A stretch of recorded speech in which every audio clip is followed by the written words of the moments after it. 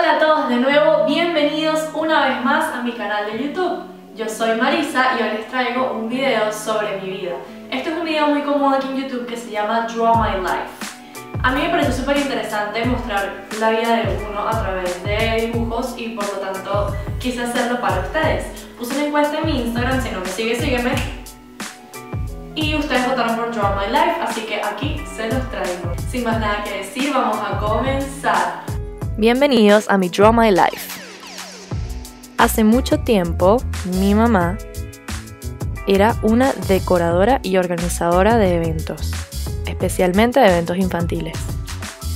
Por otro lado, mi papá tenía muchos trabajos, pero el principal era corredor de seguros.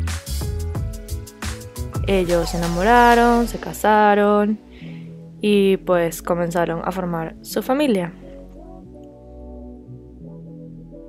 Primero tuvieron a mi hermanito, que se llamaba Simón, igual que mi papá, y le decían Simoncito. Mi hermanito tenía una enfermedad en el corazón, tuvo que hacerse varias operaciones y trasplantes y no resistió.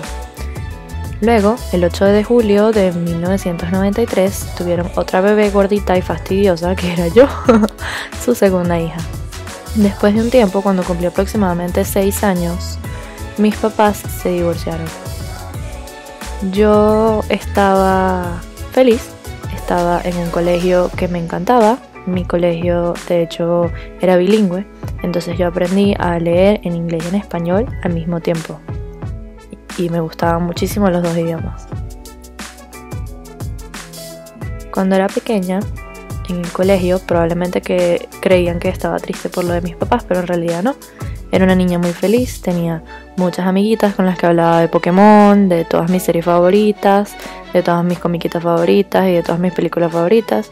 Y era bastante sociable, tenía todas mis amigas, siempre conmigo. Luego que empecé a crecer y convertirme en una adolescente, tuve mi primer novio cuando estaba en tercer año del colegio. con el cual duré bastante tiempo hasta que él se fue un año a Canadá y bueno, terminamos. Duramos como dos años y medio, casi tres años. Después al entrar a la universidad conocí a mi segundo novio, que fue justo después de que el anterior se fuera a Canadá. Él era DJ y bueno, tenía una vida social bastante ocupada. Y con él duré tres años. Pero terminé.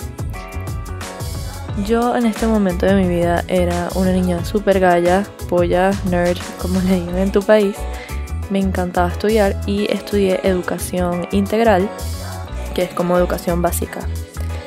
Me encantaba estudiar, me fascinaba mi carrera y la estudié en la Universidad Católica Andrés Bello. En el 2015, que ya estaba a punto de graduarme, me fui a Bogotá, Colombia, a una competencia internacional de modelo de Naciones Unidas, junto con la MUN UCAP. Y en este concurso logré obtener el primer lugar. Luego llegó el momento de mi graduación en este mismo año, en el 2015, terminé mi carrera y obtuve mi título de licenciada en educación integral. Para este momento ya tenía otro nuevo novio que es con el que estoy actualmente. Y ya vamos a cumplir casi tres años. Se puede decir que el 3 es como un número crucial en mi vida. Luego de graduarme entré a trabajar en el colegio en el que me gradué me encantaba trabajar ahí porque prácticamente todo el mundo me conocía y yo conocía cómo se manejaba todo, las reglas, todo eso. Y trabajé en sexto grado como maestra de inglés por dos años y medio. Y se puede decir que adoraba con todo mi ser mi trabajo y a mis niñas. También me apasionaba la fotografía, por lo que comencé a estudiar en una academia en Caracas me encantaba tomarle fotos sobre todo a niños y a modelos. También iba a muchísimas fiestas infantiles a tomar fotos y les hacía fotos a marcas de traje de baño, de ropa, etc.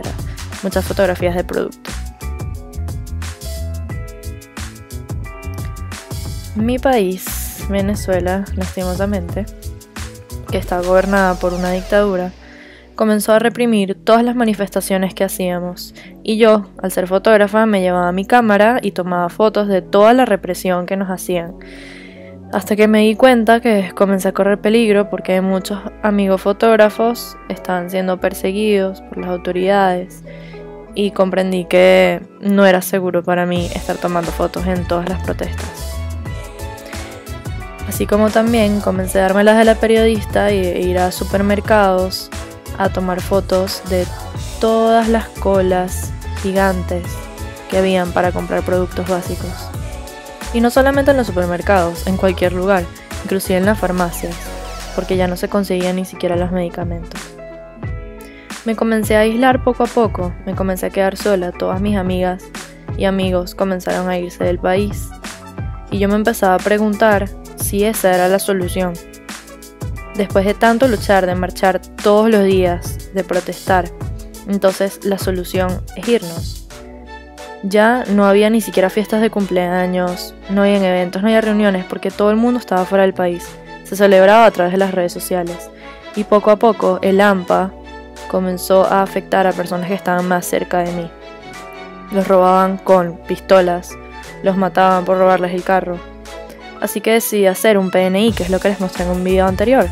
Comencé a sacar lo positivo, lo negativo y lo interesante.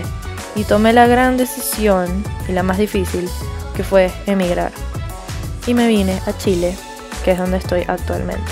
Y estoy muy agradecida. Ahorita soy una mujer de 24 años, con muchos sueños, con mi cámara, con mi canal de YouTube, dando clases particulares y tratando de dar lo mejor de mí. Ya casi tengo 700 suscriptores y en verdad se los agradezco con todo mi corazón a todos los que ven todos mis videos y me apoyan. Esta historia continuará.